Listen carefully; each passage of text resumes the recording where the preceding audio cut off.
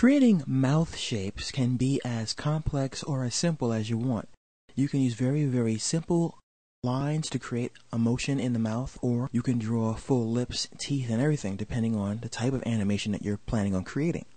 So what I'm going to do is I'm going to show you where you can get a free mouth chart uh, online at the Toon Boom website.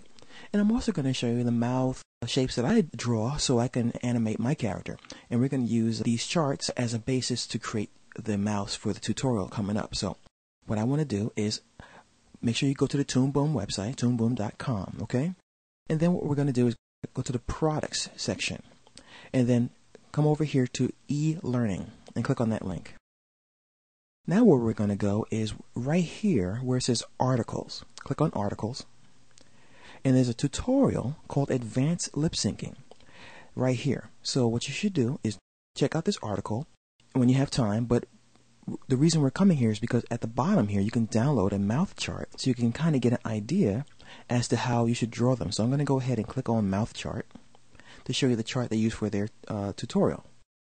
And the, the important thing to remember here is that when you're working with Toon Boom Studio mouth shapes, you're going to try to name or follow the names of the mouth shapes they provide for you when you create your own mouths. So as you see here, A is closed in this case, B is slightly open, C is wider, D is the widest and X is pretty much when your mouth is at rest, when you're not saying anything at all. G, and I also use this for F. F looks like this here as well, and E is the one they drawn here. So you, you can either use this as a guide or create your own shapes.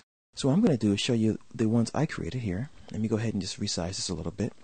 So following their chart, I created my own. So as you see here, I have my A, and I have my B, and I have my VF sound here.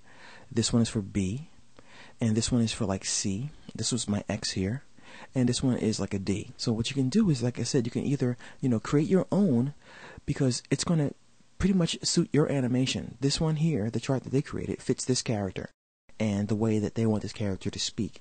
What I do is I look in the mirror and I try to gauge my artwork based on the shapes that my mouth makes when I'm making the mouth shapes.